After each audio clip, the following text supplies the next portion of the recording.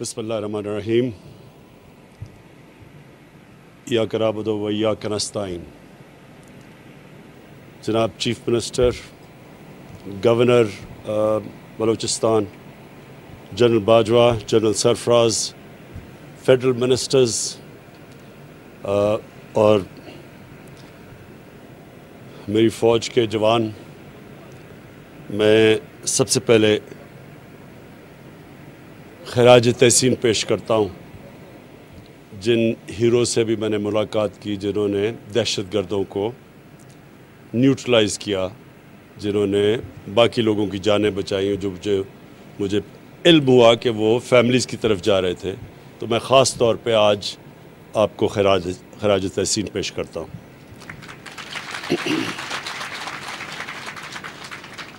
मैं आज ख़ास नोश की इसलिए आया हूँ कि मैं अपनी पाकिस्तान की फ़ौज के जवानों को एक पैगाम देना चाहता हूँ कि सारी कौम आपके साथ खड़ी है। जिस तरह की जो दहशत गर्दी की जंग में परफॉर्मेंस हमारी फ़ौज ने दी है, हमने और भी दुनिया में देखा, अफ़गानिस्तान में देखा कि किसी फ़ौज ने इस तरह इतने मुश्किल हालात में और इस तरह की जंग लड़ के और मुल्क को महफूज किया दहशत गर्दों से, इसकी मिसाल और दुनिया में नहीं मिलती जिस लेवल की जंग लड़ी गई। और हमारी माशाल्लाह फ़ौज को जो तजर्बा हुआ, मैं समझता हूँ कि हमारी सारी कौम में ये अतमाद है कि कोई किसी किस्म की दहशत गर्दी पाकिस्तान में कामयाब नहीं हो सकती। और मैं इसलिए आज आपको यहाँ नोश की आके अपनी कौम की तरफ़ से बताना चाहता हूँ कि हमें आपके ऊपर पूरा अतमाद है। और जिस तरह आपने ये 2003 चार के बाद जिस तरह ये मुल्क को महफूज रखा, हमें पूरा अतमाद है कि हमारे मुल्क में कोई किसी किस्म की दहशत गर्दी कोई नुकसान नहीं पहुँचा सकती। मैं आज इसलिए भी आया हूँ कि अपनी एफसी को मैं आज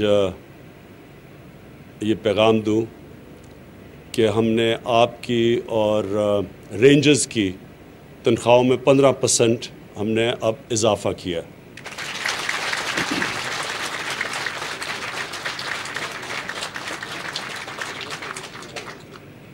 महँगाई का दौर है, मैं मुझे पूरा इल्म है। बदकस्मती से सारी दुनिया के अंदर एक सैलाब आया हुआ है महँगाई का। हमारे मुल्क तो खैर इतनी हमारे पास वसाइल नहीं, लेकिन अमेरिका जैसा मुल्क, बरतानिया जैसा मुल्क, जो नोट प्रिंट कर सकते हैं, वहाँ चालीस साल के बाद सबसे ज़्यादा महँगाई का, की लहर आई हुई है। बरतानिया में जो जो भी अपना पाउंड यानी अपनी करेंसी प्रिंट कर सकता है, वहाँ तीस साल के बाद सबसे बड़ा आया हुआ है तो मुझे पूरा एहसास है कि हमारे जो तनख्वाहदार तबका है, वो तकलीफ़ में है। और मैं आपको यकीन दिलाता हूँ कि पूरी मेरी कोशिश है कि हम मुल्क के माशी हालात उधर तक ले जाएँ, कि हम लोगों की आमदनी में इजाफा कर सकें। कई चीज़ें हम नहीं कुछ कर सकते। मसलन अब तेल महँगा हो गया, तेल दुगने से भी ज़्यादा हो गया तो वो हम बाहर से मंगवाते हैं तो उसका हम क्या करें पाकिस्तान के? अगर बाहर से तेल आ रहा है और वो दुगने से ज़्यादा हो गया तो उसकी सारी चीज़ों पे असरात आते हैं। तो मैं इसलिए कहता हूँ कि इन आपकी हमें जैसे जैसे हमारी आमदनी बढ़ती जाएगी, आपकी और भी हम अपने तनख्वाहदार तबके की और भी तनख्वाहें बढ़ाते जाएँगे।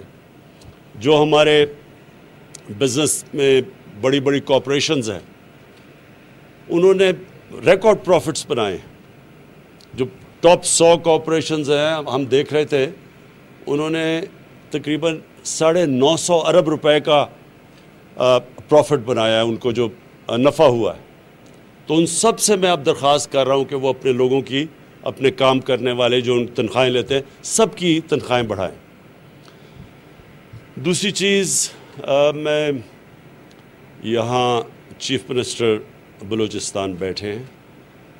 मैं इनको अशोर करना चाहता हूँ कि कोई भी पाकिस्तान की जो डेमोक्रेटिक गवर्नमेंट आई है, मुझे एहसास है कि थोड़े से फेजेस में कई दफ़ा मिलिट्री गवर्नमेंट ने बलूचिस्तान में ज़्यादा काम किया। लेकिन किसी भी डेमोक्रेटिक गवर्नमेंट ने इतना काम नहीं या इतने फंड्स बलूचिस्तान में नहीं लगाए होंगे जो हमारी इस हुकूमत ने लगाए हैं। जो सबसे ज़्यादा बड़ा प्रोजेक्ट हम अब कर रहे हैं और जिससे बलूचिस्तान के लोगों को बहुत फ़ायदा होगा, जो फेडरल गवर्नमेंट का प्रोजेक्ट है, वो चमन से लेके कोयटा और कराची का एक पूरा हाईवे बना रहे हैं, जिसकी हमने पैसे भी एलोकेट कर दिए हैं और इन इससे बलूचिस्तान के लोगों को बहुत फ़ायदा होगा। बड़ा सूबा है बड़े बड़े फासले हैं, आबादी कम है, इसके अपने चैलेंजेस हैं, लेकिन मैं फिर से आपको शोर करता हूँ कि जैसे जैसे, और अल्लाह का शुक्र है रिकॉर्ड टैक्स कलेक्शन हुई है, इस बारी और होती जा रही है। जैसे जैसे हमारी आमदनी बढ़ती जाएगी, बलूचिस्तान के ऊपर और बलूचिस्तान के लोगों के ऊपर हम ख़ास तौर पर तवज्जो दे रहे हैं, क्योंकि वो पीछे रह गए हैं।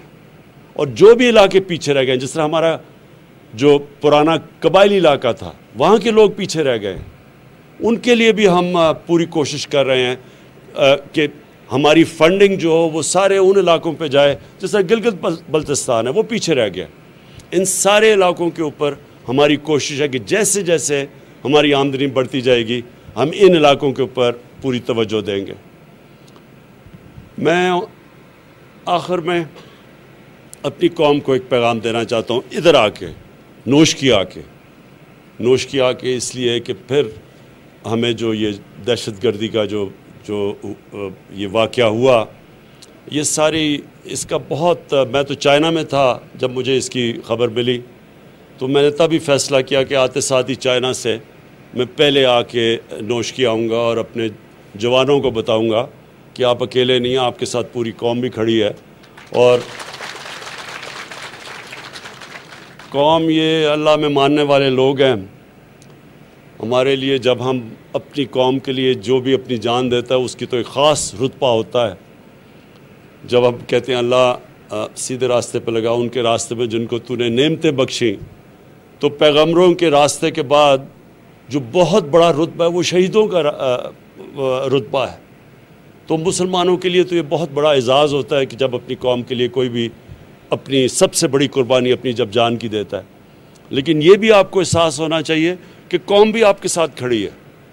और सारे लोगों ने मुझे जब मैं जब उधर भी था, मुझे मैसेजेस एकदम आई कि किस तरह दिलेरी से दहशत गर्दी का मुकाबला किया। और मैं चीफ मिनिस्टर साहब, आपको भी ये कहना चाहता हूँ कि हम इन यहाँ डेवलपमेंट इतनी कर देंगे बलूचिस्तान में आने वाले दिनों में कि ये जो लोग इसको इस्तेमाल करते हैं और हम सबको पता है कि ये खुद नहीं कर रहे, इनके पीछे बाहर वो कूदते हैं जो चाहती हैं कि पाकिस्तान के टुकड़े टुकड़े हों। तो ये पीछे से भी फंडिंग है इसके लिए। तो इन हम इनके अपने बलूचिस्तान की आवाम के लिए वो काम कर जाएँगे कि ये जो जो भी कोशिश इनकी जो है कि लोगों को उकसाएँ और इनको हुकूमत के ख़िलाफ़ और अपनी सिक्योरिटी फोर्सेस के ख़िलाफ़ खड़े करें। इन वो काम इतना हो जाएगा कि इनकी, इन दहशत गर्दों की कोई बात नहीं सुनेगा, ना ही ये जो बाहर हमारे दुश्मन बैठे हुए हैं मुल्क के अंदर इंतशार फैलाने के लिए, इनके लिए भी कोई सुनने वाली इनकी बात नहीं होगा। मैं अभी चाइना से आया और मैं आखिरी बात कहता हूँ कि जो सी पैक है सी पैक का जो पहला दौर था वो तो सीधा सीधा था कनेक्टिविटी के सड़क बने और पावर स्टेशंस थे। अब जो हम उनसे समझौता करके आए हैं और इस तरह प्रेसिडेंट शी ने ख़ुद इसके ऊपर पूरी तरह हमें अश्योरिटी दी है कि जो अगला फ़ेज़ है, उसमें सबसे ज़्यादा बलूचिस्तान को अब फ़ायदा होगा। क्योंकि वो, अब वो फ़ेज़ है इंडस्ट्रियलाइजेशन का। मुल्क की दौलत में इजाफा तब होता है जब इंडस्ट्रियलाइजेशन हो। अभी तक पाकिस्तान में आज से 50 साल पहले जो बड़ी तेज़ी से इंडस्ट्रियलाइज हो रहा था पाकिस्तान, बदकस्मती से वो पीछे रह गए हम। ट्रेडिंग मुल्क बन गया। अब जो इंडस्ट्रियलाइजेशन की तरफ़ हम जा रहे हैं स्पेशल इकोनॉमिक जोन्स अब ये जो अगला फ़ेज़ सी पैक है, वो इंडस्ट्रियलाइजेशन का है। वो वो जो दुनिया टेक्नोलॉजी की तरफ़ इंफॉर्मेशन टेक्नोलॉजी की तरफ़ तेज़ी से आगे जा रही है, अब वो इंफॉर्मेशन टेक्नोलॉजी का है। और फिर जो चाइना हमारी पूरी मदद कर रहा है आप ज़रात के अंदर, एग्रीकल्चर के अंदर। अगर जो प्रोडक्टिविटी यानी जो वो पैदावार लेते हैं अपने मुल्क में, अगर हम अब ये सोचें कि वो दो दो, तीन तीन गुना ज़्यादा उनकी पैदावार होती है। हम अगर अपनी पैदावार आदि भी बढ़ा दें तो आप ये सोचें कि पाकिस्तान अनाज एक्सपोर्ट करने वाला मुल्क बन जाएगा।